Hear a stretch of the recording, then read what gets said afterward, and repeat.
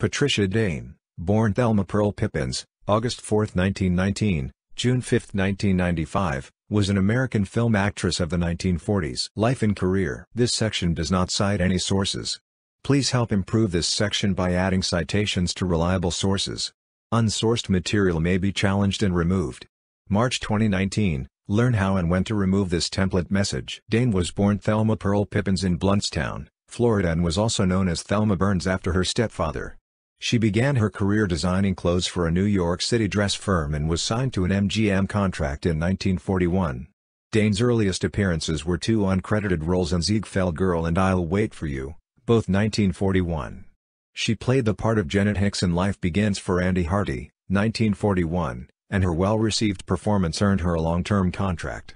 Dane played Garnet in Johnny Eager, 1942, directed by Mervyn LeRoy. The film starred Robert Taylor and Lana Turner. Dane received favorable press for her acting in Grand Central Murder, 1942, in which she was billed second to Van Heflin. Dane took a break from her film career when she married bandleader Tommy Dorsey, the marriage lasted from April 1943 to September 1947. Her MGM contract lapsed in 1945.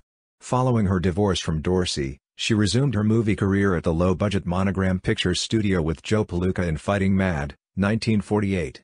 Dane appeared in two television roles for Fireside Theatre and Flight 13, both 1951.